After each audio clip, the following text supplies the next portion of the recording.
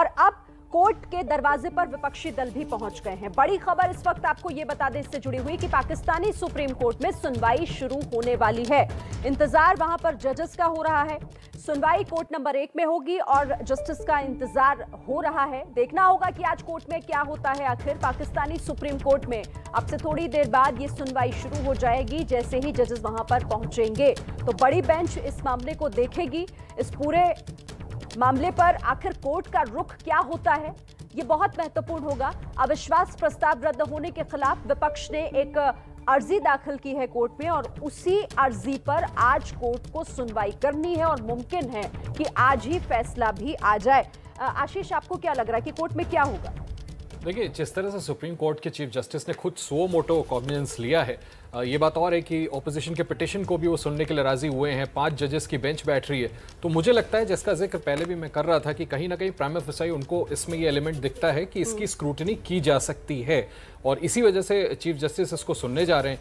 और मुझे लगता है कि क्योंकि कॉन्स्टिट्यूशनली भी अगर आप इसको ऑब्ज़र्व करें तो एक डिप्टी स्पीकर इस तरह का फैसला ले नो कॉन्फिडेंस मोशन जिसको पहले वोट के लिए एडमिट किया जाता है। और खुद ये सरकार सबसे अहम बात खुद इस सरकार के अटॉर्नी जनरल जिसने इस्तीफा दिया है, उन्होंने उन्होंने पहले ही सुप्रीम कोर्ट को इस बात की जानकारी दी थी कि ये वोटिंग थ्रू होगा, यानी कि वोटिंग कराई जाएगी तो यानी कहीं ना कहीं मुझे लगता है कि जो एपेक्स कोर्ट है, उसे भी ये लग रहा है कि उन्हें अंधेरे में रखा गया, उन्हें चीट किया गया, और इसी वजह से खुद चीफ जस्टिस ने अपनी तरफ़ से इसको सुओ मोटो लिया है। ये बात और है कि कुछ पिटिशन ऑपोजिशन के एंटरटेन किए जाएँगे इसमें। मुझे ऐसा लगता है कि इस बात की इस गुंजाइश से हम इनकार नहीं कर सकते कि कहीं ऐसा ना हो कि जो डिप्टी स्पीकर ने फैसला पढ़ा है स्पीकर का और नो कॉन्फिडेंस के वोट को दरकिनार किया है, उसको दोबारा से बहाल कर दिया जाए और नो कॉन्फिडेंस वोट को दोबारा से कराने की नौबत भी आए। श्री प्रणय क्योंकि यहाँ पर देखिए, विपक्ष खुद को ठगा हुआ सा महसूस कर रहा है। और इसीलिए आज कोर्ट के दरवाजे पर है। भले ही कोर्ट ने स्वतः संज्ञान भी लिया हो, लेकिन अर्जियाँ भी दाखिल की गई हैं विपक्ष की तरफ़ से।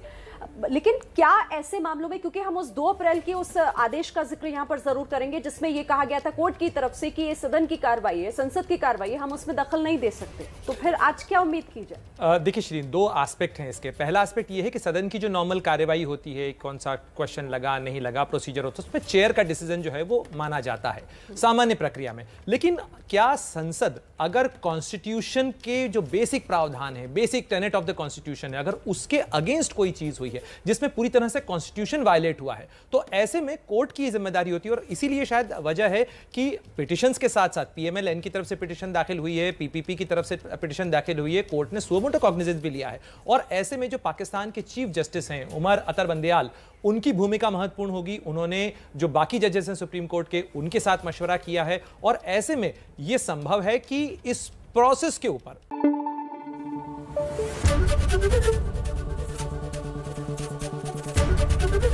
एबीपी न्यूज़ आपको रखे आगे।